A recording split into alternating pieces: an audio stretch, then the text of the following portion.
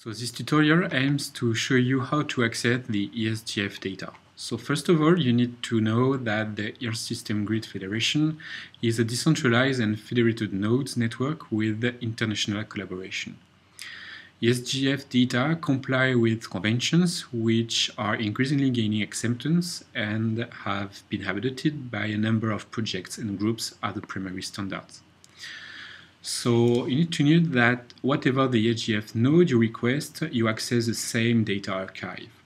In this tutorial, we will use the IPSL ESGF node in order to download climate variables or energy indicators produced in the context of the Copernicus Climate Change Service. So on the home page, at the first steps, you need to create your ESGF account by clicking on the upper right link then fill the form and validate uh, your information.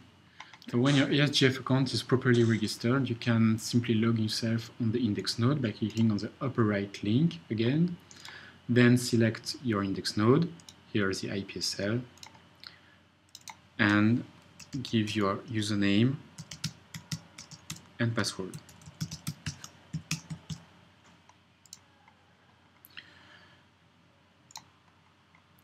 So you are uh, redirected to the home page with your uh, username on the upper right. So you need to know that uh, some ESGF data are restricted to users grouped with uh, specific permissions. In our case, to access Copernicus data, you need to register either to the Codex Research or Commercial Group by clicking on the links in the table. So here we will show the Codex Commercial I just select my index node and click on the subscribe button and then my login is affiliated to the Codex commercial group. So I can go back again on the home page and from the same table I can now access the search interface of the project. So here, 3trace energy data. From the search interface by clicking on the Home tab on the upper left. You can access to the project overview with the project website, so here CLIM4ENERGY website, for more information. And in addition, we strongly recommend to read the data management plan of the project to efficiently find the data you need.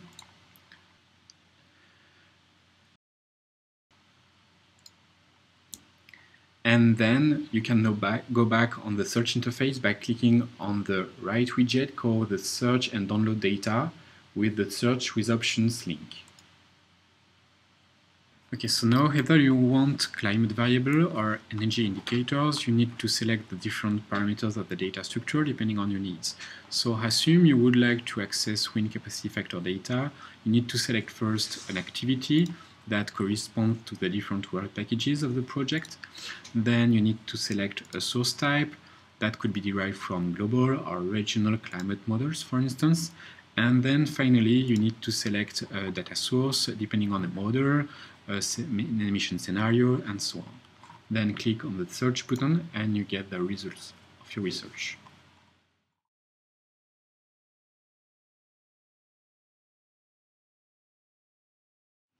So when you get the results of your research, you can see the different dataset matching your request. For each dataset, you can show the different metadata, you can show the different files, and add the dataset to your download cart. So for each file, for instance, the first way to download the data is to click on the HTTP server link by giving again your OpenID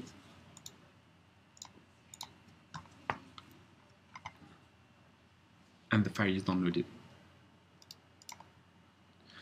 Then you can add the dataset to your data cart. Go to your data cart on the upper right corner.